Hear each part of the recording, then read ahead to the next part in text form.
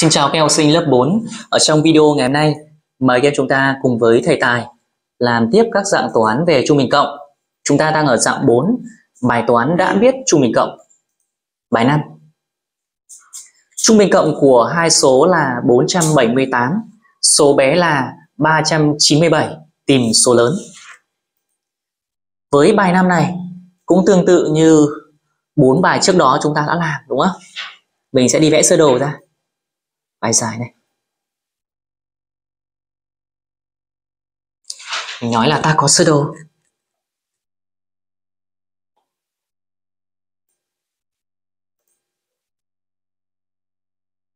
Trung bình cộng của hai số thì mình sẽ vẽ là hai đoạn thẳng bằng nhau. Mỗi một đoạn sẽ là trung bình cộng đấy các em ạ. Và thầy sẽ ờ, cho mỗi một đoạn đó là sẽ độ dài là 3 cm 3 cm là đoạn thứ nhất này tiếp. 3 cm nữa là đoạn thứ hai. Rồi.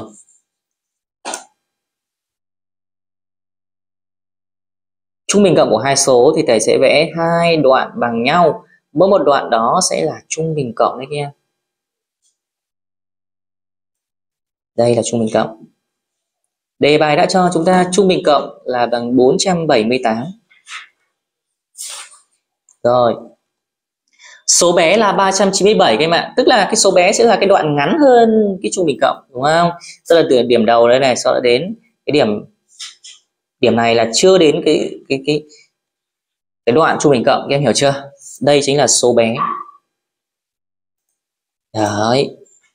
Số bé đã biết rồi.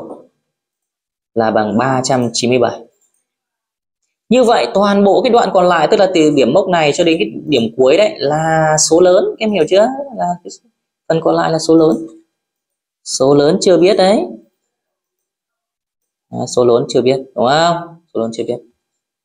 Rồi bây giờ mình sẽ đi trình bày như sau. Theo sơ đồ ta có.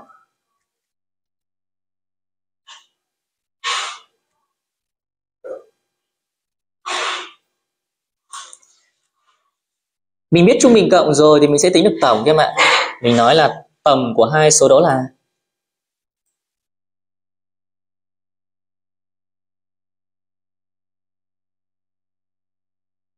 tổng của hai số đó là muốn tính tổng ta sẽ lấy trung bình cộng nhân với số số hạng. Có hai số mình lấy trung bình cộng nhân 2 478 nhân 2 chúng ta đặt tính ra nhá cho nó chắc nhá.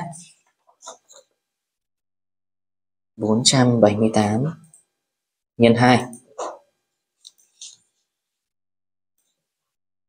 2 nhân 8 bằng 16 viết 6 nhớ 1 2 nhân 7 bằng 14 thêm 1 bằng 15 viết 5 nhớ 1 4 nhân 2 là 8 thêm 1 là 9 như vậy, tổng mình sẽ tính được bằng 956 và chúng ta cũng không phải ghi đơn vị nhé các em. Chúng ta có tổng rồi, tức là từ điểm đầu này cho đến điểm cuối là bằng 956. Biết số bé rồi là cái đoạn này, đoạn đầu này. Là bằng 397. Chứ chúng ta sẽ lấy tổng thôi, lấy tổng là cái đoạn dài nhất này trừ đi cái đoạn số bé này mình sẽ ra cái đoạn số lớn, em hiểu chưa? Mình sẽ có ngay số lớn là số lớn là ở phép tính ở trong này chúng ta sẽ lấy là tổng là 956 trừ đi cái đoạn số bé này 397 thì mình sẽ ra cái đoạn còn lại, tức là cái đoạn số lớn này, các em ạ. Chúng ta đặt tính nhá. 956 trừ 397 6 không trừ được 7 ta lấy 16 trừ 7 bằng 9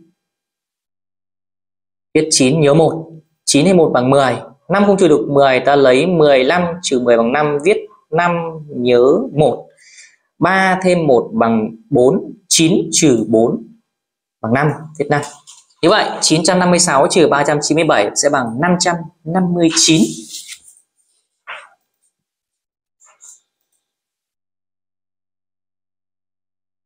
Rồi, vậy chúng ta ghi đáp số cho thầy thôi. Đáp số trong bài này chính là số lớn là 559